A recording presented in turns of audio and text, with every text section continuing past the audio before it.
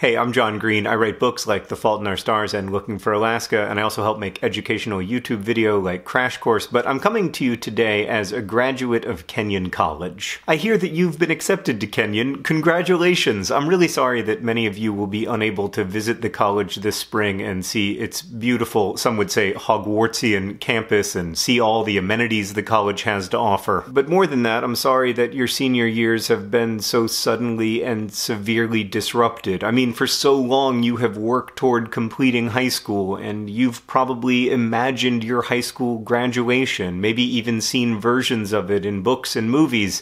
And now that isn't going to happen the way you dreamed it would, at least for many people. Actually, a story about graduation might help explain why Kenyon was so special for me. So I didn't graduate with my class. I had to take a semester off due to illness. And as I watched my class graduate, I was happy for them, but I also felt this gnawing sense of hurt I wanted to be there with them in the cap and gown with the pomp and circumstance. I felt like I was a disappointment or even a failure. And when I did graduate in December of that year, I figured they would just like mail me a diploma and that would be it. But here's what happened instead. One of my professors, Donald Rogan, conspired with a few other professors and some of my friends to throw me a surprise graduation. After finals that semester, Professor Rogan gathered us in his home, offered a brief commencement speech, and had me walk across the stage of his living room floor to accept a fake diploma that he had made for me. It wasn't the graduation I'd dreamt of, but in some ways it was even better. I mean, I still have that diploma that Professor Rogan gave me, and I have no idea where my actual diploma is. That's the kind of place Kenyon is. I learned so much there that has helped me in my work and in my life, and that learning extended far, far beyond the classroom. Congrats again on your acceptance to Kenyon. I know this feels like a terrible time to celebrate anything, but what you've accomplished is real and impressive and worthy of celebration.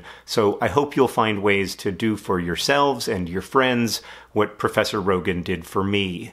And wherever you end up in school, I wish you good luck and kind professors.